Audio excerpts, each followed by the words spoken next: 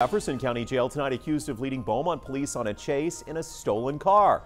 Officers say they tried to pull over 31-year-old Yance Young in the North End Tuesday. He sped off and eventually got out of the car and tried to run, according to police. They eventually found him. Police say they found suspected meth and heroin on him. He's being charged with possession of a controlled substance, unauthorized use of a motor vehicle, and other charges. His bond, $5,000.